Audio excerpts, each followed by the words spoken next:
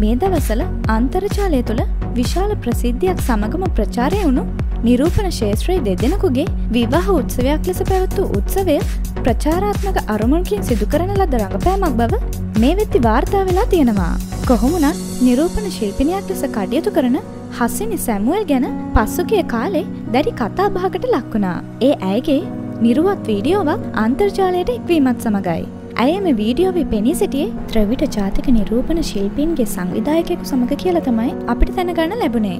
අන්තර්ජාලය තුළ අදහස් පළ කළ ඇතමුන් කියා සිටියේ විශ්වය අනු පෙනුමින් පිරිමියෙක් වුණ ජාන මගින් ගැහැණු ගති ලක්ෂණ ඇති අයෙක් බවත් ඒ නිසා ඔහුගේ ව්‍යාපාරික මිතුරා මුද්දල් මත තම පුද්ගලික අවශ්‍යතාවන් සඳහා හසනිව යොදා ගන්නා බවයි. කෙසේ වෙතත් විශ්වකයේ සහ හාසනිගේ විවාහය ඉකුත් හතරවෙනි දින ශැංග්‍රිලා හෝටලේදී පැවැත්වුණා මේ විවාහය අතරමඟදී නතර කිරීමට සිදුවුණු බවත් වාර්තා වුණා.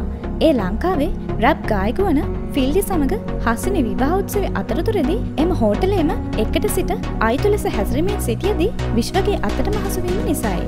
ඒ අවස්ථාවදී හෝටලේ තුළ දැඩි ගැටුම්කාරී නොසන්සුන් බවක් ඇතිව බව අපට දැනගන්න ලැබුණා. මේ මංගල උත්සවේ ගිවිස ගැනීමක් ලෙස නම් කර තිබුණද එහි නීතිමය වශයෙන් ගිවිස ගැනීමේ අවස්ථාවක් දක්න නොලබුණු බවද සඳහන් වෙලා තිබුණා.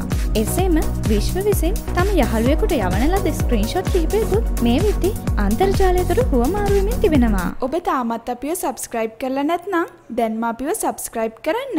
ඒ වගේම කුඩා සීනුවේ බුවොත් අලුත් වීඩියෝස් දාපු ගමන් ඔබට දැනගන්නත් පුළුවන්.